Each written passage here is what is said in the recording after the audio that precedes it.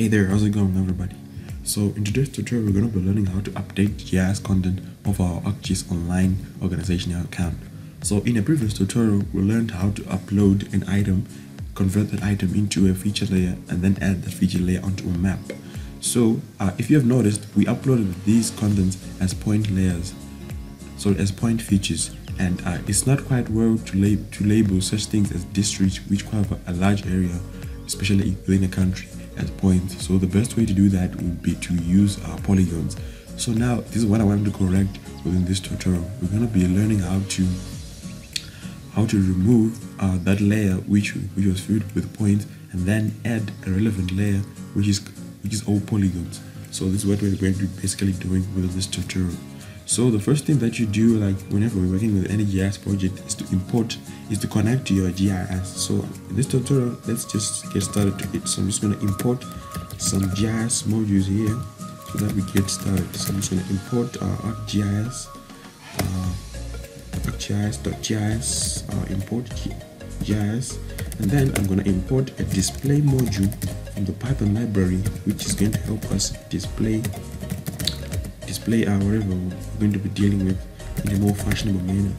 And then uh, once I import that, I'm just going to do this in one cell and then I'm going to actually uh, request to log in to my organizational account because without logging in, then that basically means we cannot do any changes because we are not authenticated to do that. So I think I forgot something. I'm supposed to put double quotes here and then I put a comma and then I separate that and then I enter my username then once I'm done then I execute this block. So let's just leave that to execute. Okay so now we've been prompted to enter in our password. So I'm just going to enter my password like that to the prompt box.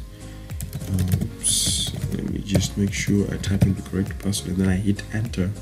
And then it's going to authenticate us into our online account oops i think i ran into an error. Let me try to see what error. Invalid username or password. I think there's something wrong with my username or password. It's african surveyors. Okay let me just try to rerun that block and then enter correct password.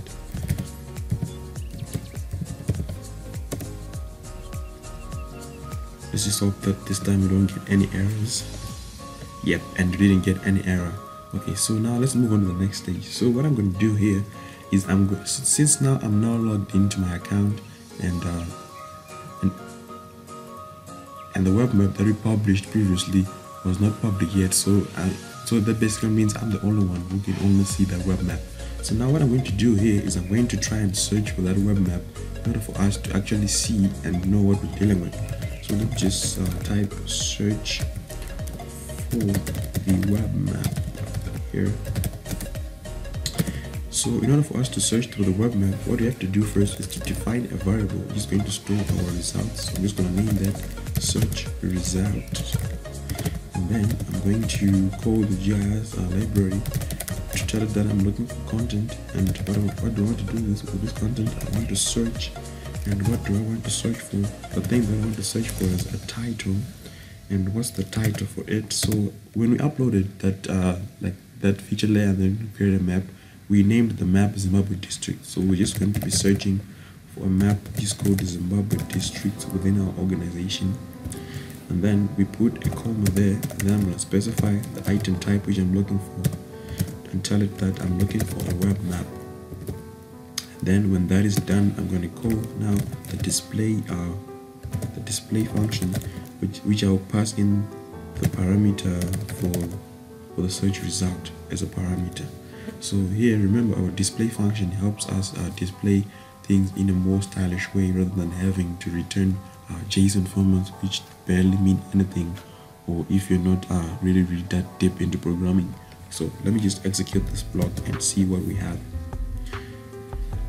So yeah. So now we have uh, figured that uh, we have something here. So it returned this result item type Zimbabwe district web uh, map with this owner. So i'm actually the owner of this web map. So that this basically proves that we have uh, we have an item with this uh, title within our organization. Okay so now what we need to do now is now we need to read the map so that we are able to see uh, what I'm talking about when I said uh, we had uh, point features within the map. So let me just say now we need to read the web map.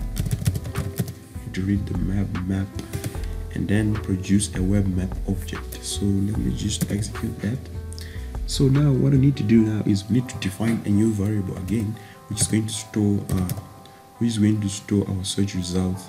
So let me just say uh, web item and then that will be equal to search result result and then I'm going to put an index of zero.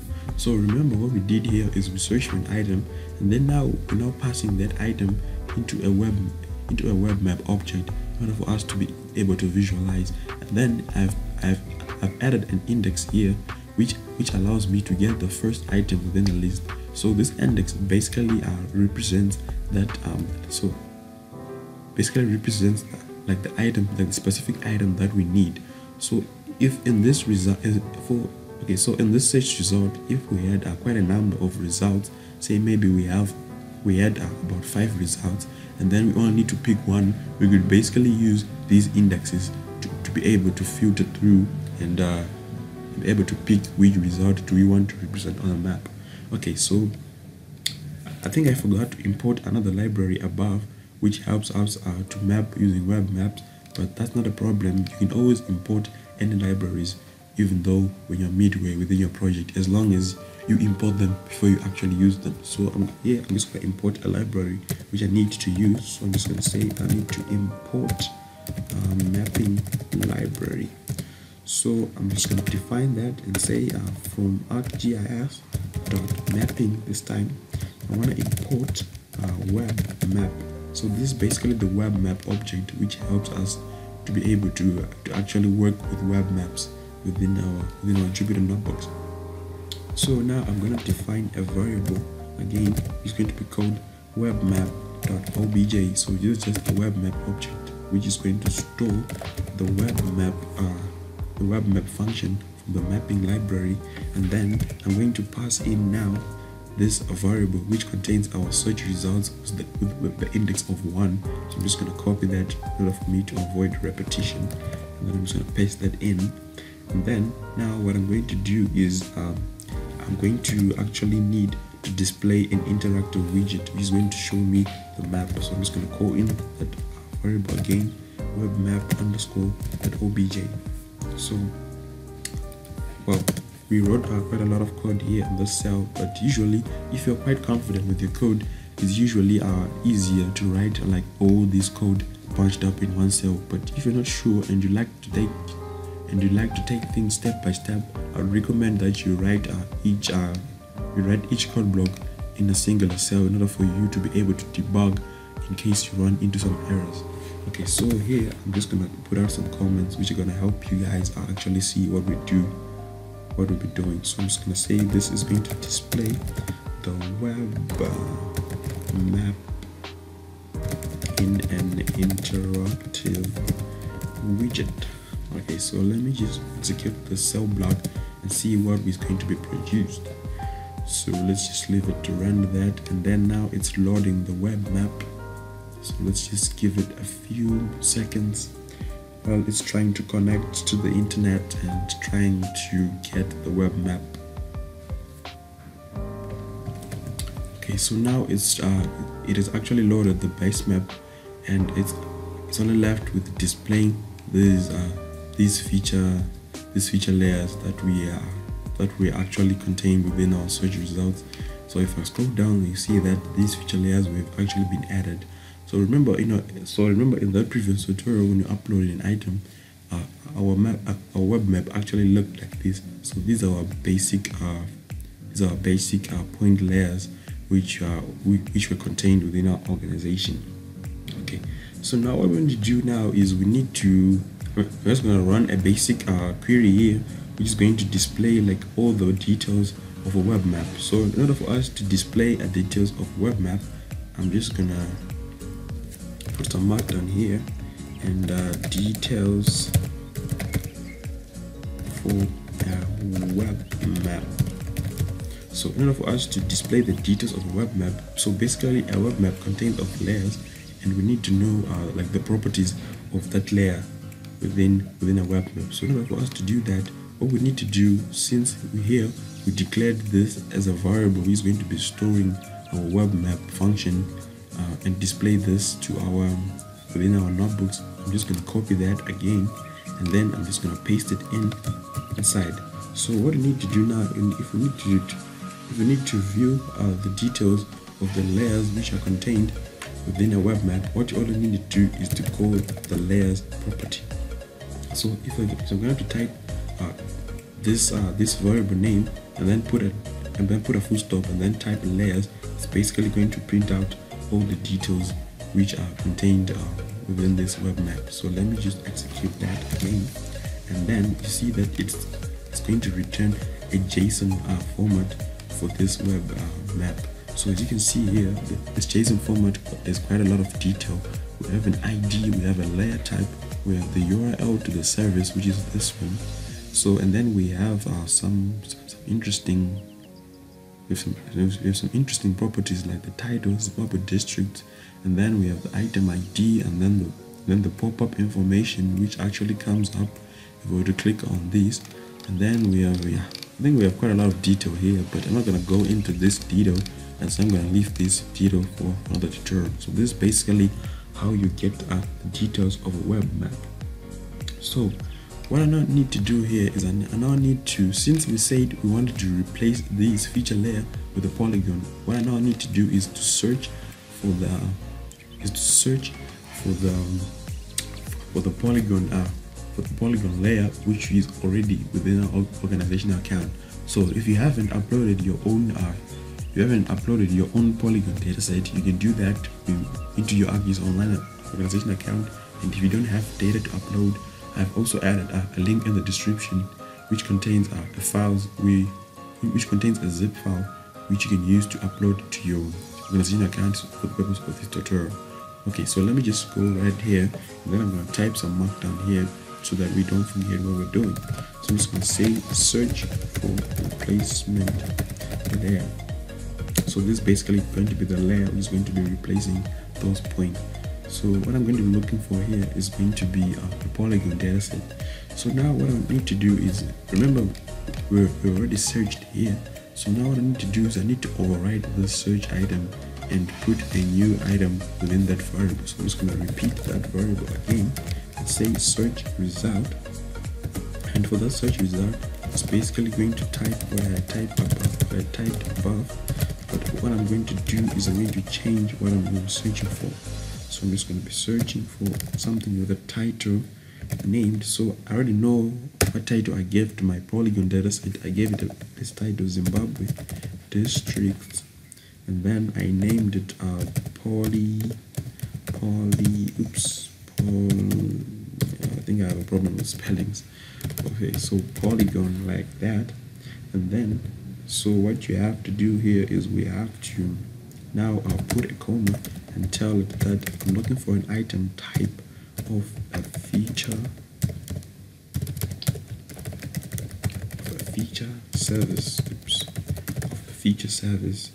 And then I need you to display the result of the first thing that comes up. So I'm just going to say result. And then I need you to display only one item. And then I'm just going to execute that and it's basically going to print out. Oops search results is not defined. Oops. So here i think i made a mistake. I typed in search results instead of search results. I'm just going to correct that and then execute that again. And now we see that we have our polygon dataset which is already here. So as you can see i already uploaded this on the on the march the i already uploaded this on march the 12th 2021 and it already has five views. Oh, okay so this is basically going to be the layer which i'm going to be using for for the replacement. Okay so now that we have found the layer which we're going to be using as the replacement we now need to remove this already existing layer which we just found here. So in order for us to remove i'm just gonna uh, type in a few markdown here to, to to remind us of what we're doing. So we're just to say remove the code layer. And then I'm just gonna run that. Okay so we're gonna remove the old layer. So remember this old layer was contained in this variable which we named webmap.obj so I'm just gonna call that variable. And then now I'm going to be calling the remove layer uh, function. And then I'm going to pass in uh, as a parameter. As a parameter to that and then I'm going to tell it that I need to remove the layer with an index of 0 okay so this, this might be quite confusing but it's basically what we described above. So I'm sure you remember this web map obj this web map underscore obj uh, variable which we had declared uh, somewhere around here which contains uh, which contains like these layers. And then now I'm just telling it to remove the layer with the index of 0 from that web map. So so if I'm to execute this it's going to basically remove that but I haven't coded any function to in order for me to actually visualize this so nothing's going to happen here. So now what I need to do is I now need to add a new layer and, and also change the title. So I'm just gonna put some markdown here and then we'll say uh, add the new layer I'll convert that to markdown and then just execute that. So in order for us to add a new layer I'm going to call the same variable again because I don't want to be adding a lot lots of variables and that will just uh, get us confused. So now what I need to do is I need to add uh, a layer and to do that I just need to add the add layer function. And what do I pass in inside. So what do I pass in? I just need to pass in the new layer name. And then I tell it that I need the layers to be uh, of index of 0 like that. And then I'm just gonna put some a few options which are just basically going to help us uh, like to change the title. So I'm just gonna pass this as JSON and then I put uh, these these opening uh, it's opening curly braces then I put the title like that and then oops I think this is supposed to be double quotes and then I put the title like that and then I put the colon and then now I'm supposed to type in the name of the layer which I want to add. So I'm just going to add the district. I'm supposed to put uh, quotes there. The district in Zimbabwe. This is going to be the title of my of my web map so now I've changed that I'm just basically going to execute that. Oops okay sorry I think I made a mistake here. I rushed onto the other steps because I'm I think I'm very eager to finish this tutorial. So let me just go back a little bit and finish some of the steps that I left out behind okay so you might have noticed that we added a new variable here which is called new layer but we didn't actually define that variable and if and if we were to execute that it's, it's basically going to produce an error so let me just show you what I what I'm talking about here. I'm just gonna run into an error if I execute that. As you can see, our name new layer is not defined. So what we need to do now is we need to define uh, this uh, new layer as a variable. So how am I going to do that? So I'm just gonna gonna go back a little bit and then I'm gonna declare this as a variable. So I'm gonna type in new layer and what is that going to be equal to? So I'm just gonna go up a little bit here. So remember when I mentioned that I was going to override this search result with a new layer which I'm going to search for which is this polygon dataset so this is what I'm going to pass in uh, for the variable in order for us to be in order for us to have a replacement layer. So what I'm going to be doing here is I'm going to pass in that search result. So I'm just going to say search result. And what I, and what do I need? I need the index the first item which which appeared within the search result. Even though we had one item but for the for the sake of this tutorial i'm just going to be showing you how to get uh, how to get a specific item within within a search result. So i'm just to query that and say i need the first item within the search result. And what do i need to do with that item? I need to see the layers. So i'm just going to pass in the layers property there. And then what i'm going to do here is i'm going to remove this line. So basically going to copy that and keep it for keep it for later use. And then I'm just going to execute this block where we have defined our new variable okay so now that you've seen this so basically this is, is the URL to this uh, to this uh, polygon dataset which has now been stored within this variable so now what we need to do is um, since we've already removed that so I'm just basically going to going to put back our line here which is actually going to change this uh, which is actually going to change uh, which is actually going to change this title. So let me just execute that now and we see that we won't run into any errors. Okay so now that you've seen that this true value it basically means that this expression that we just ran has been executed successfully without any errors. If it was to return false or an error value then that means there was going to be a problem within this uh, within this uh, within this within this code above.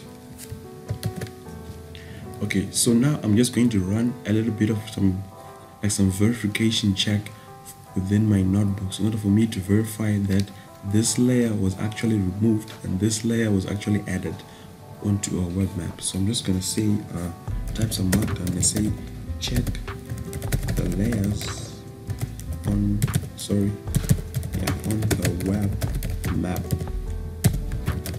So i just want to check the layers which are available on the web map. And for me to do that i'm just gonna loop through uh, loop through all the layers. So i'm just gonna type a for loop so let's say for layer in web uh, map dot ob sorry underscore obj within their layers i'm just gonna look through and see what we have.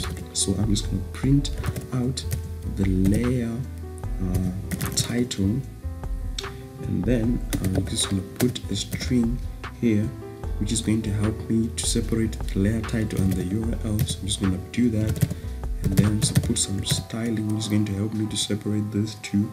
And then I'm going to put a plus sign and tell me that and tell it that I now need the URL okay so most of you might be confused on to say where is he getting this uh, like this layered title and layer.url so remember when you returned this JSON file, so this JSON output here, I, I, I actually talked about a lot of properties which are contained within this JSON, within this JSON file. So as you can see here, we have a URL here, which basically contains the URL to that layer. And then we also have the title here. So in order for the, us to actually see if this was removed, we would actually call those basic two properties and these are just basically going to help us see some of the properties within our layer so I'm just going to execute that and we just noticed that uh, this district in Zimbabwe layer is the same name that we gave here that we replaced uh, with the old name of the layer and then this is the URL to the layer okay so actually I could uh, so actually I could actually uh, add more properties so that you guys get an appreciation of what I was talking about. So which items could I actually get here? So let me just say uh, if I was going to basically going to get this item ID so let me just copy that. And then we actually add this to that and then I'm to say plus and then I'm going to return this as a string again. It's going to be like that. Map it out there. And let's say plus layer dot paste that item id so it's going to basically add an item id to our like to our output results. so let me just execute that and show you how it's going to look like. So as you can see we now have this item id okay so i'm just doing this for the, for the sake of this tutorial but you could actually uh, put some styling here so that you actually see uh, what i've been talking about. Okay, so finally, now that we have confirmed that our web map only contains one layer, which we have replaced with the old layer and, uh, and used the new layer to replace the old layer. So now it's time for us to actually update uh, our web map. So I'm just to put some markdown again and say now we're to update the web map. So remember our map, our web map still looks like this because we haven't updated anything yet. and we haven't added any layer onto the web map since we removed the old layer which was actually there so let me just run this code and then we actually put some code which is basically going to update. So in order for us to update we basically only need to call the update uh, basically to call this update method and then we just pass in some parameters which we need to update. Okay so let me just uh, type in a few code here. Remember our variable which we defined which was web map underscore obj which is the web map object so i'm basically going to call this because this is the one which actually contains the new layer which i've just added again. And then I, I just need to call in the update method. And then I only need to pass in a few parameters which are going to be used for updating our web uh, map. So what I need to do now is I need to update a few properties within our web map. So I'm just going to say item properties properties like that then I'm going to pass in a JSON which is going to contain the information which I need to update. So I need to update the title of that uh, of that web map. So what what name can could I possibly give to this title? I think I'm just gonna name it uh, districts in Zimbabwe. Then I'm just gonna put an updated there and then what else do I need to update? So I think I'm gonna change the thumbnail the thumbnail of this. So most of you who have used uh, just online I'm sure you're you're familiar with thumbnails. Like thumbnails they just basically present uh, like a summary of what is contained within a feature layer. So over here I already had a file which contained uh, the URL of the thumbnail which I need to use so I'm just gonna copy that URL and use it within my and use it within my organization as a thumbnail. So I'm basically going to do that and I'm just going to paste that out in. So I'm just going to paste that out in like that. And then what I'm going to do here is uh, this is basically what I need to do I need to update my layer with so I think I'm just going to change the title please note that this is written as a district in Zimbabwe updated previously when we searched for that uh, the web map. We just basically it was written Zimbabwe district. So now I'm just going to, I'm, I'm just going to rename that to district in Zimbabwe updated. And then I'm just basically going to run that. So it's going to execute that and it's now trying to change all those uh, all those items and properties we just configured it to change then it returned uh, a true value again to, to confirm that uh, my code was actually executed without any errors. So now I'm just gonna display the map for you so now for you to see what we've just done. So I'm just gonna visualize the map the new map. Now so I'm just gonna execute that. And then remember what we need to do in order to call the map. We just need to call the map object like this without adding any extra input. So I'm just gonna run that again. Then it's going to actually start to load uh, our map. Wow so you can see now that we now have polygons within our map and uh, as compared to what we actually had in the beginning we had a point and then we had to update our layer and put polygons instead of points which is actually a good representation if you're representing like areas such as a district within a country. Um, okay, so now that we have our web map, so this is basically what you need to do whenever you're going to be updating any content within your ArcGIS online organization account. So thank you guys for watching. Please like, share, and subscribe to the channel and for us to keep making more videos. And thanks for watching.